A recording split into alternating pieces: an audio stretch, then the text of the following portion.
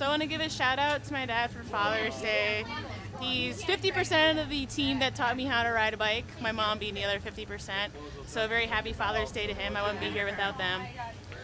And I guess since this is the last stage, uh, finishing thoughts for the week. Well, we're not finished yet, um, but uh, talking with Jen last night, you know, getting here is an accomplishment, and you know, you have the right to feel proud of yourself.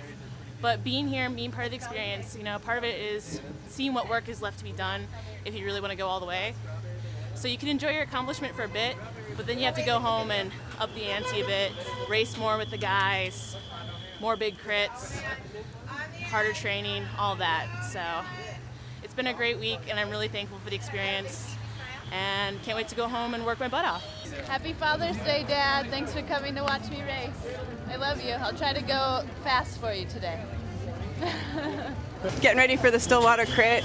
Just wanted to say Happy Father's Day to my dad. Um, my parents support me so much, and I'm really happy and grateful for that.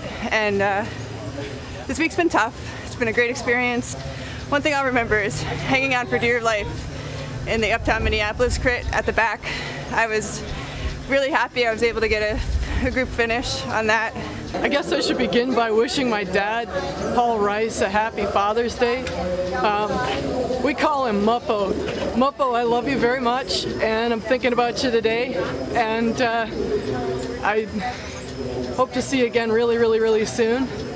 Um, and uh, otherwise, I'm just really excited to be here. Um, really excited to, to take on Chilkoot Hill. I'm not a climber, but I am a descender, so half the course is mine. yeah, um, and this has just been a wonderful and thrilling experience.